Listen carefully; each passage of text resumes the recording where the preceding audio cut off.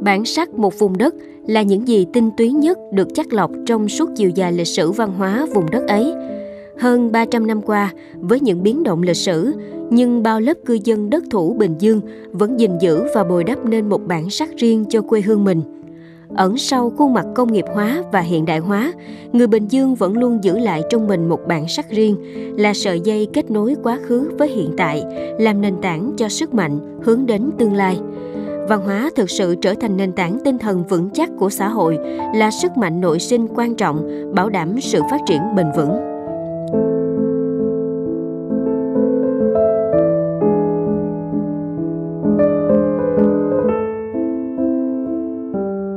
Đảng ta xác định văn hóa là nền tảng tinh thần của xã hội, vừa là mục tiêu, vừa là sức mạnh nội sinh, động lực quan trọng để phát triển đất nước.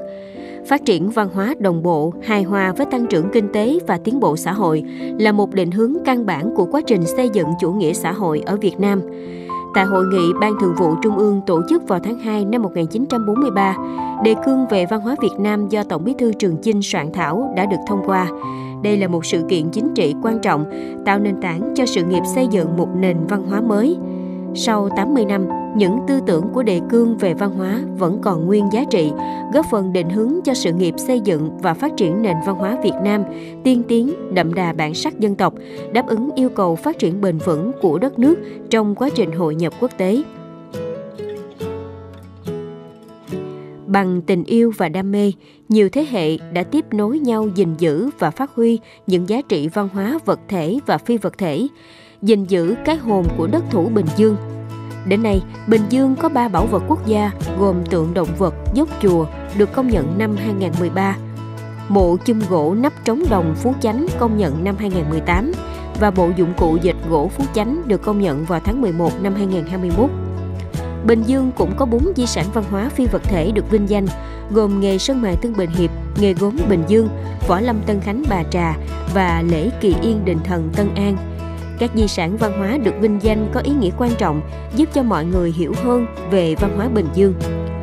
Bảo tàng, đó chính là nơi hội tụ tất cả những giá trị cốt lõi, giúp mọi người tìm hiểu một cách tổng quát nhất về văn hóa lịch sử một vùng đất. Như khi đặt chân đến Bảo tàng Bình Dương, mọi người đã có thể cảm nhận được sức cuốn hút của tầng sâu văn hóa Bình Dương với lịch sử hơn 300 năm đã được tái hiện sinh động chỉ trong một tác phẩm nghệ thuật như thế này. Ở đó có những ngày đầu mở đất lập làng gian khó với dưới sông Sấu Lội trên rừng Cọp Beo. Ở đó có những mốc son lịch sử sáng chói qua hai cuộc kháng chiến trường kỳ chống Pháp và chống Mỹ. Ở đó có những làng nghề, những cung bậc đờn ca tài tử như tiếng lòng người đất thủ, và ở đó có cả một Bình Dương năng động sáng tạo nghĩa tình, nơi hội tụ nguồn lực và lan tỏa thành công. Một bức phù điêu mà chứa một cái lượng thông tin rất là lớn, rất lớn. À, nói về cái lịch sử hình thành Bình Dương từ à, mấy trăm năm, à, 300 năm và cho đến cái thời điểm hiện tại. Với nhất rất là nhiều thông tin, với rất là nhiều những cái à, dấu mốc lịch sử thì à, thực sự là một phù điêu thật là tuyệt vời. Sức lan tỏa là vô cùng lớn khi trên đất Bình Dương đang hiện diện rất nhiều những di tích mang đậm dấu ấn văn hóa lịch sử. Bình Dương có 39 di tích được xếp hạng, bao gồm 5 di tích cấp quốc gia và 34 di tích cấp tỉnh, nâng tổng số di tích được xếp hạng trên địa bàn tỉnh hiện nay lên 62 di tích. Bảo tồn và phát huy giá trị di tích chính là một cách thức hữu hiệu trong công tác văn hóa. được xây dựng từ năm Giáp Dần 1854 và cũng đã được xếp hạng di tích cấp tỉnh. Đình Tân Trạch vẫn luôn được người dân đất Cù Lao Bạch Đằng gìn giữ. Giống như một số ngôi đình nổi tiếng khác của Bình Dương, đình Tân Trạch cũng được vua ban sắc phong, đủ thấy tầm quan trọng của ngôi đình là đại diện cho quyền lực làng xã. Trong khi đó, lễ hội cúng đình chính là biểu hiện sinh động của truyền thống uống nước nhớ nguồn, nơi con người được trở về với nguồn cội, thể hiện sức mạnh cộng đồng, nhu cầu sáng tạo và hưởng thụ những giá trị văn hóa vật chất và tinh thần của mọi tầng lớp dân cư. Đây cũng là hình thức giáo dục, chuyển giao cho các thế hệ sau biết giữ gìn, kế thừa và phát huy những giá trị đạo đức truyền thống quý báu. Đình thần ở đây được tổ chức vào hai lần, vào ờ, tháng tư, rằm tháng tư và rằm tháng chạp mà rằm tháng tư là cúng lễ lớn nhất của trong làng và được mời hết tất cả các nơi về để hội tụ cúng và để cầu cho ờ, đất nước của mình được ờ, bình an, mưa thuận gió hòa và muôn dân được ờ, khỏe mạnh. Thì ở đây dân, ở đây tới ngày đó thì ai cũng tụ về còn à, tháng chạp thì à, chỉ cúng ở trong làng mình thôi không có mời khách xa. Chỉ có những người mà quê hương họ ở đây rồi họ đi làm ăn xa thì họ cũng nhớ cái ngày này. Là sớm nhau sẽ trở về đây với uh, uh, trong làng mình để cúng hàng năm. Ngày 27 tháng 7 ngày thương binh liệt sĩ thì ở đây cũng có thờ các uh, anh hùng liệt sĩ đó. Thì cũng có tưởng niệm. Tiền nhân cũng để lại những làng nghề thủ công truyền thống như gốm sứ, sơn mài, điêu khắc gỗ để đến hôm nay qua hơn 300 năm, những ngành nghề truyền thống ấy đã trở thành thương hiệu, là nét đẹp văn hóa đặc trưng. Và trách nhiệm của thế hệ trẻ hôm nay là phải giữ nghề, truyền nghề và phát triển nghề lên một tầm cao mới thông qua nhiều cách thức khác nhau. Đó có thể là sự kết hợp giữa làng nghề với du lịch, là sự mạnh dạng đầu tư áp dụng công nghệ để nâng cao chất lượng, quảng bá tiếp thị sản phẩm, mở rộng sản xuất kinh doanh, hoặc đó là những tâm huyết trong công tác đào tạo nghề truyền thống một cách bài bản và khoa học để tạo ra đội ngũ thợ lành nghề đáp ứng yêu cầu trong tình hình mới. Để đáp ứng yêu cầu trong bối cảnh đất nước bước sang một giai đoạn mới thì lực đẩy văn hóa cần phải đặt đúng vị trí, đúng tầm. Nghị quyết Trung ương 9 khóa 11 xác định xây dựng và phát triển văn hóa con người Việt Nam đáp ứng yêu cầu phát triển bền vững đất nước.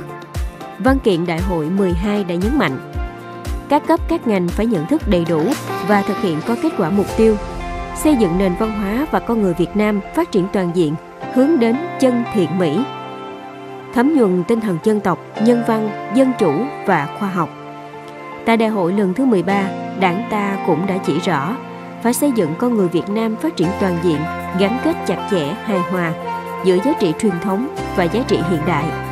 Kế thừa có chọn lọc và phát triển những quan điểm chỉ bảo những định hướng lớn của đảng về văn hóa. Bình Dương luôn xem trọng văn hóa, không chỉ là nền tảng tinh thần mà là mục tiêu động lực của sự phát triển. Trong công tác bảo tồn và phát huy giá trị di tích lịch sử văn hóa, tỉnh đã thực hiện hiệu quả luật di sản văn hóa theo quy chế phân cấp rõ ràng cụ thể, chủ động về quản lý đầu tư, khai thác sử dụng di tích. Là tỉnh có hệ thống di tích lịch sử văn hóa rất phong phú và đa dạng, với nhiều loại hình như lịch sử, kiến trúc, nghệ thuật, khảo cổ, tỉnh Bình Dương đã xây dựng đề án bảo tồn và phát huy giá trị di tích tỉnh Bình Dương đến năm 2025, định hướng đến năm 2030. Đây là cơ sở để thực hiện nâng cao chất lượng hoạt động bảo tồn và phát huy giá trị di tích, góp phần hoàn thiện hệ thống thiết chế văn hóa. Bên cạnh đó, tỉnh Bình Dương cũng chú trọng khai thác sử dụng và phát huy giá trị di tích với nhiều hình thức đa dạng, gắn kết các di tích văn hóa với các hoạt động du lịch và hoạt động giáo dục lịch sử truyền thống cho các tầng lớp nhân dân, nhất là thế hệ trẻ là vùng đất giàu truyền thống cách mạng, nơi tập trung sức mạnh của ý đảng lòng dân và trở thành nỗi ám ảnh khiếp sợ của kẻ thù. Vùng đất Bình Dương chính là một dấu son chói ngời viết tiếp nên bản hùng ca miền Nam thành đồng Tổ quốc. Sẽ không có một bài học lịch sử nào ấn tượng bằng những bài học lịch sử trực quan sinh động như thế này. Lịch sử không còn là những con số và sự kiện một cách khô khan, mà lịch sử thấm sâu vào lòng người. Từ chính những trải nghiệm như thế, để tự thân mọi người sẽ có những suy nghĩ, ý thức, trách nhiệm và hành động vì lý tưởng, vì quê hương đất nước.